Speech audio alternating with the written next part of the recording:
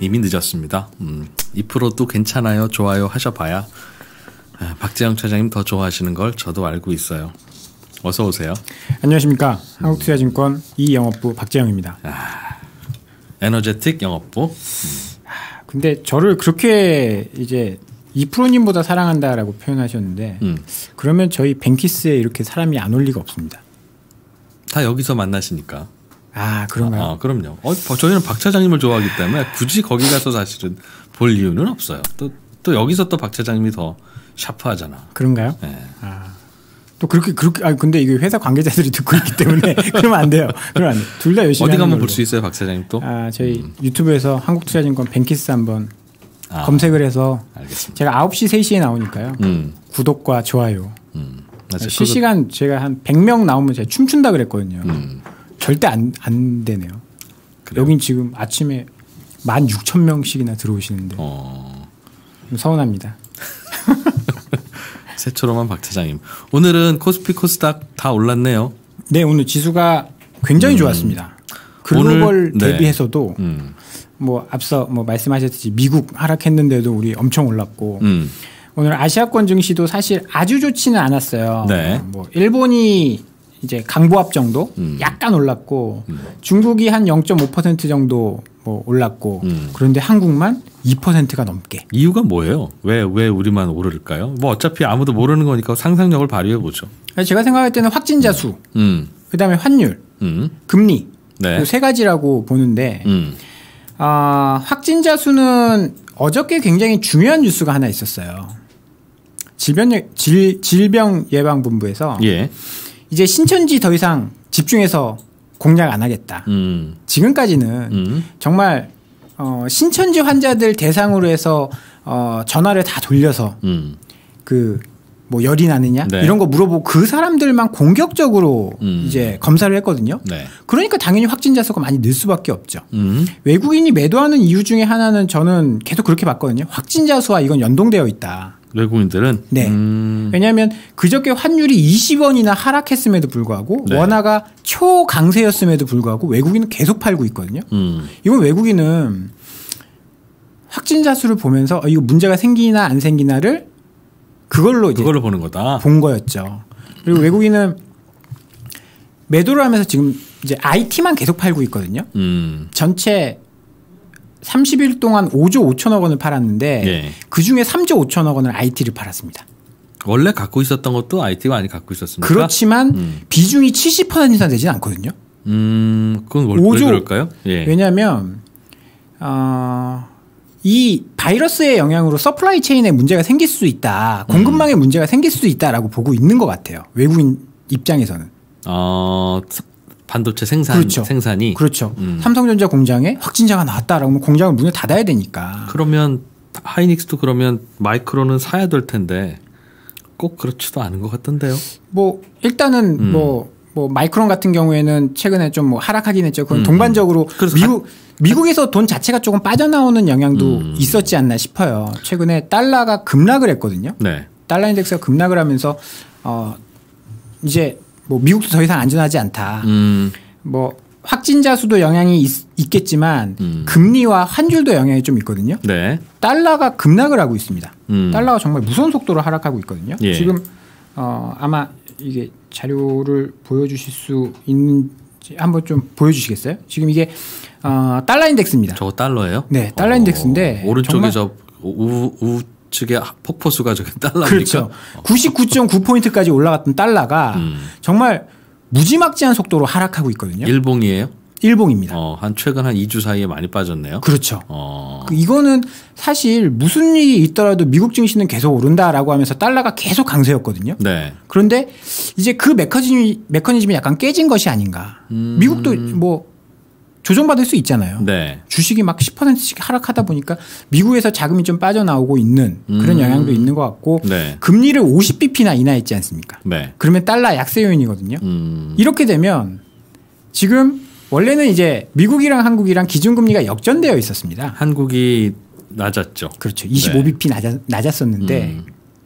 이제는 한국이 금리가 더 높죠. 음. 원래 이게 정상인데. 그랬죠. 예. 그러다 보니까 오늘 외국인이 정말 오랜만에 네. 매수로 전환이 됐습니다. 음. 이 부분.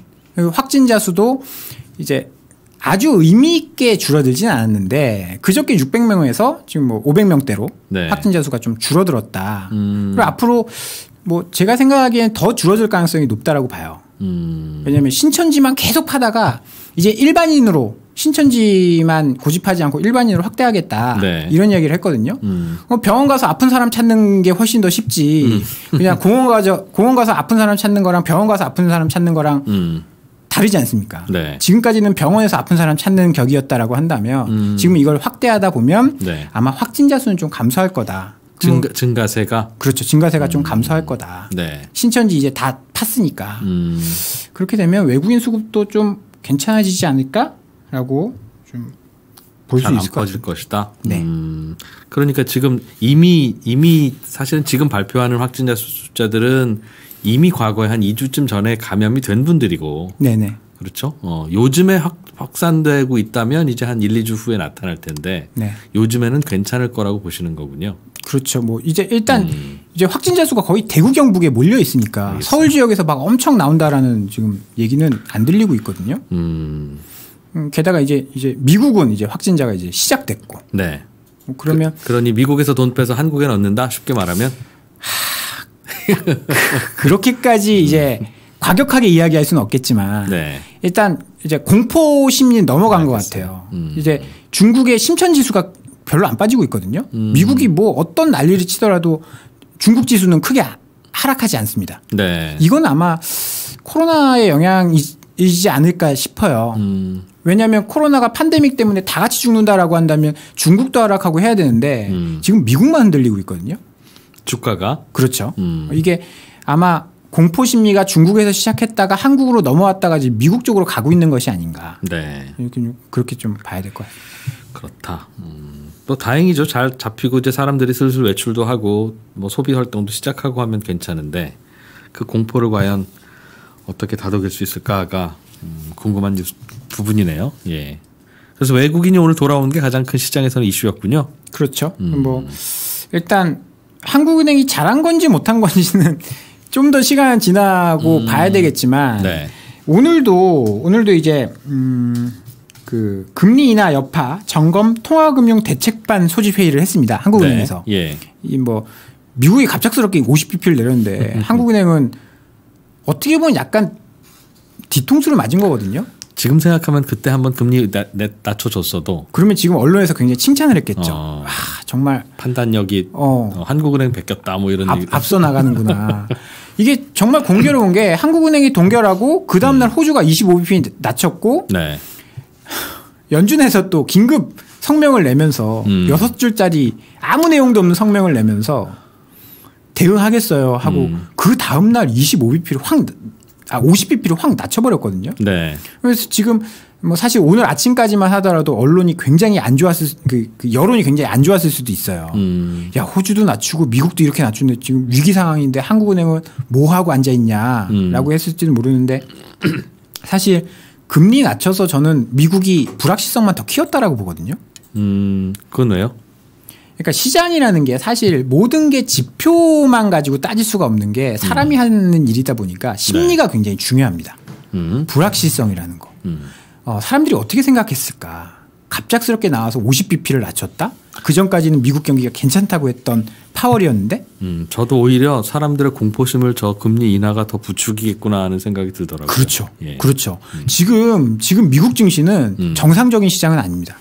음, 뭐, 지- 뭐 제가 봤을 때도 그렇고 많은 사람들이 그렇게 느낄 거예요. 네. 지수가 5%씩 하루에 움직인다라는 것은 음, 금융위기급이나 뭐 엄- 진짜 엄청난 호재가 있거나 억- 악재가 있어야 되는데 음.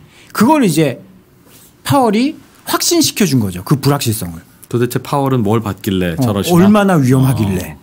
그것도 그럴 수 어. FOMC 기간도 아니고 음. 갑작스럽게 나와서 25bp도 아니고 B컷 그러니까 50bp를 한 방에 내려버리느냐. 네. 뭘 받길래. 음. 그래서 불확실성을 더 키운 그렇다. 효과가 있었다라고 봅니다. 그래요. 오늘 우리나라는 수- 추경안도 발표됐죠. 그렇죠. 음. 이것도 저는 중요하다라고 보는데 확진자 수가 이제 더 이상 늘어나지 않는다라고 한다면 기대하는 거는 지표는 완전히 다 박살이 났거든요. 네. 경제 지표는 다 박살이 났으니까 음. 기대하는 거는 이걸 어떻게 살릴 것인가 정부가 음.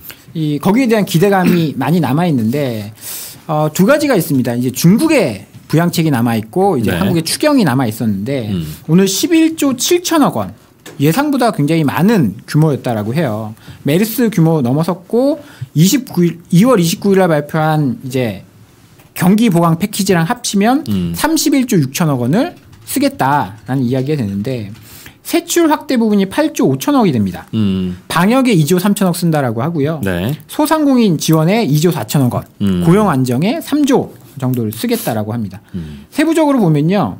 소비 살리기 위해서 저소득층, 노인, 아동 등 500만 명에게 4개월 동안 전통시장 쿠폰 주기로 이, 했죠. 그렇죠. 음. 소비 쿠폰 음. 주고요. 온누리 상품권, 지역사랑 상품권. 네. 7세 미만의 아동이 있으면 주는 걸로 알고 있어요. 음. 저는 7세 미만 아동이 둘입니다. 오 그리고 축하드립니다. TV 냉장고 등 음. 이제 고효율 가전 사면 30만 원 한도 내에서 구매 금액의 10% 환, 환급 네. 해주고요. 음. 여기다가 이제 저임금 근로 지금 소상공인이 제일 문제거든요. 제가 지금 대구에 대구 출신이니까 음. 연결을 해보면 가게 막 문 닫고 그런데요. 네. 가게에서 일하시는 분 그냥 폐업을 해버린대요. 그래서 일자리 안정자금 5인 이하 영세 사업장에 임금을 4개월간 한 명당 7만 원씩 보조를 해주기로. 음. 그래서 어, 지금 지급하고 있는 일자리 안정자금 11만 원과 합치면 17만 원씩 4개월간 80만 영세 사업장에 100만 원 네. 정도가 지급될 예정이라고 합니다. 그리고 음. 코로나 19랑 사투를 벌이고 있는 대구 경북 지역에 고용 안정 대책 등 특별 예산이 6천억 원 지원이 된다라고 하네요. 전반적으로는 방역에 쓰는 돈 이런 거 빼고 나면 나머지는 직접 돈 꽂아주는 거네요. 맞습니다. 어 그냥 소주머니 잠깐 열어보세요. 어, 이렇게 돈 주, 주는. 돈 음. 쓰세요. 이렇게. 아, 이건 뭐 언제든지 효과가 있기는 할 텐데 지금 요즘 이게 소비가 갑자기 줄고 하는 거는 주머니에 돈이 없어서가 아니라 두려워서죠. 어, 밖에 나가기 두려워서 안 나가니까 쓸래야 쓸 수가 없는 그런 구조인데 이 돈을 넣어주는 게 물론 뭐 안 하는 것보단 나으니까 아, 그렇다고 더 나빠지지 않겠으나 이걸로 소비를 진작시킬 수 있을까 아, 내지는 충격을 흡수할 수 있을까 하는 걱정이네요. 그렇다고 어떤 아이디어가 있으면 이걸 하셨어야죠 할 텐데 약간 그것도 이면적이에요. 지금 뭐 사회적 거리두기 캠페인 음, 그런 거 하잖아요. 네, 그렇게 하면 사람을 만나지 말란 얘기인가? 음, 회사에서는 지금 회식을 다 금지해 버렸거든요. 네, 그럼 회식하지 말고 한 두 명 세 명만 가서 먹을까? 음. 그것도 약간 좀 눈치 보이고 뭐 정부도 뭐 사실 어 특별 특, 뾰족한 수, 그 묘안은 없는 것 같아요. 네. 좀 더 그렇죠. 이걸 아. 뭘저 바이러스를 없애주고 그러니까 빨리 방역하고 빨리 이거 치료하는 게 최선의 경기 부양책이다라는 말이 죄송합니다. 이런 식으로 기침을 해서 아, 기침 아 비말 어, 이거 네. 네. 그래서 어 다른 방법은 없겠죠. 어뭐 그런 듯해요. 그래서 아마 뾰족한 것을 중국도 못 만들고 미국도 못 만들고 그럴 것 같다. 이거 참 그래- 그래서 사실은 시장에서 걱정하는 게 음. 이걸 도대체 어떻게 하냐. 예전에 저 2008년 금융위기 때는 그 당시에는 신용 크레딧 크런치가 있어서 그렇죠. 얘 불안해서 돈 못 주겠는데라고 하는 그 걱정이라면 국가가 줄게 국가가 음, 그냥 국가라고 생각하고 하세요라고 하면 그게 빨리 회복이 되는데 지금은 무서워서 못 나가는 걸 어떻게 하겠습니까 라고 하니까 아마도 시장에서 더 불안해하는 것 같아요. 정부나 중앙은행이 해결할 수 있는 문제가 아닐 것 같다는 두려움. 이게 굉장히 중요한 게 이제 코로나 때문에 공장이 멈추면 네. 코로나 뭐 해결되고 나서 공장을 다시 돌리면 되거든요. 음, 근데 심리라는 것은 네, 한번 딱 이렇게 굳어져 버리면 쉽게 잘 안 바뀌어요. 음, 그래서 한 번 하락, 하락하기 시작하면 추세를 만드는 경향이 있거든요. 네, 그래서 정부에서 이좀 조금 과하게라도 해서 소비를 좀 시키려고 지금 음. 노력을 하고 있는 것 같습니다. 네, 왜냐하면 한 번 꺾여버리면 되살리는데 굉장히 더 큰 노력이 필요하기 때문에 음, 그래서 이건 굉장히 문제인데 저는 사실 너무 안일하게 생각하고 있는 건지 모르겠지만 거의 한 이틀에 한 번씩은 외식을 하고 있거든요. 요즘 밖에서 네. 예, 애들 데리고 나가서 외식을 해요. 어제도 음, 했고 음. 정말 너무 장사가 안 되더라고요. 음, 근데 뭐 아직까지 코로나 안 걸리고 있는 거 보면 큰 문제는 없는 것 같습니다. 방송 보시는 분들도 조심하세요. 네. 외식 아니더라도- 모르겠어요. 그렇죠. 어, 네? 음, 방역 차원에서 보면 조심하세요. 그래야 되고 그렇죠. 경기 살리기 차원에서 보면 잘하셨습니다. 해야 되는 일이니. 근데 경기 안 좋아져서 굶어 죽는 것보다는 전 낫다고 생각합니다. 이게 너무 이제 경, 경제적인 뭐, 음, 뭐 논리를 생각하는 건지 모르겠는데 예. 아무튼 전 그렇습니다. 미국의 경선, 미, 민주당 경선도 변수일 수 있는데, 이거 굉장히 중요하다고 봅니다. 저는 음, 지금 지- 미국 같은 경우에는 지금 울고 싶은 아이예요. 네. 울고 싶은 아이예요. 음. 그래서 뭐 하나 톡 건드리면 빵 터질 수가 있거든요. 예, 그것 중에 하나가 저는 경선이다라고 보는데 음, 지금 분위기로만 봐서는 좀 긍정적입니다. 음, 경합이거든요. 네. 샌더스와 바이든인데 네. 시장은 샌더스가 이기면 울고 싶- 울 거고, 그렇죠. 빵 터질 텐데 음, 바이든이 이기면 안심할 거고, 어 그렇죠. 그런 것도 있고 지금 분위기에 더 좋은 거는 음. 서로 비등비등 해야 됩니다. 네, 그러면 트럼프만 좋을 거거든요. 음, 서로 한 명이 압도적으로 좋으면 음. 한 명이 압도적으로 좋으면 어 트럼프랑 대응할 수 있다 이런 이제 트럼프랑 대결 구도가 성립할 수 네. 있는데 지금은 예. 트럼프랑 대결 구도가 아니라 자기네들끼리 지금 엄청 음. 박터지게 싸우는 거거든요. 네, 그렇게 되면 시장은 불확실성을 조금 해소할 수 있죠. 음, 왜냐하면 트럼프가 될 가능성이 높기 때문에 트럼프가 된다라고 하면 시장은 변하는 게 없는 거예요. 음. 시장 친화적인 성향의 트럼프 대통령이고 음흠. 그래서 시장에 나쁠 게 없다라고 보고요. 어, 슈퍼 화요의 경선에 대해서 조금만 말씀을 드리면요. 지금 굉장히 많은 지역에서 바이든이 승리하고 있다라고 하고요. 네. 다행 어, 이거 다행스럽다고 해야 되나요?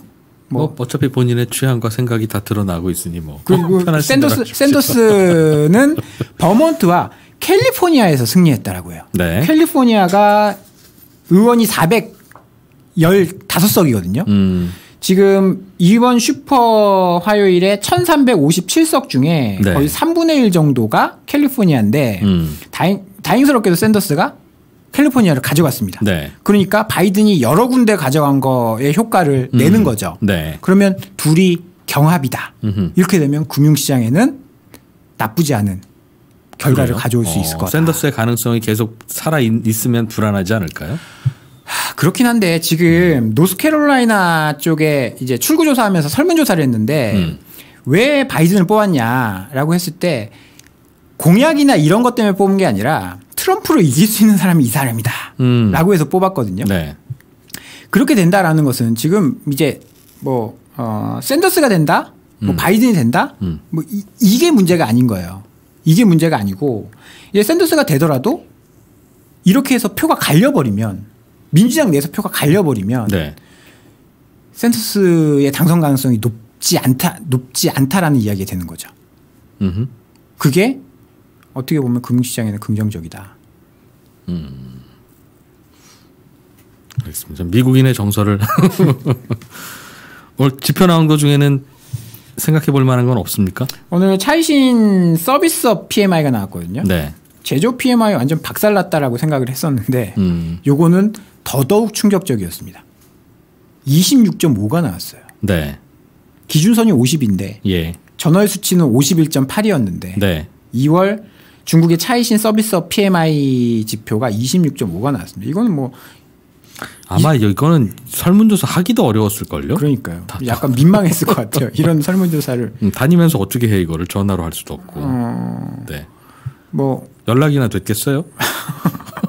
출근 안 했을 수도 있 담당자가 네. 음. 아, 어찌됐든 간에 이게 여행이 제한되면서 경기가 엄청나게 위축이 됐고 네. 근로자 고용도 엄청 감소해서 이렇게 됐다라고 음. 하는데 그럼 여기서 이제 우리가 알 수 있는 거는 아, 그러면 중국의 정책 위반자들은 이번에 양회에서 전인대에서 어마어마한 부양책을 가지고 나오지 않으면 네. 이거 개선시킬 수 있을까? 음.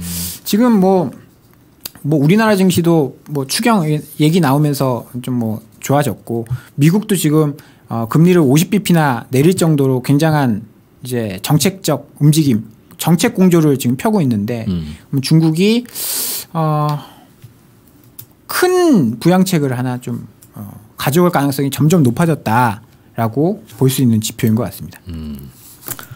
네. 박지영 소장님 말씀 오늘 여기서 또 마무리하고요. 내일 또 뵙겠습니다. 감사합니다. 네.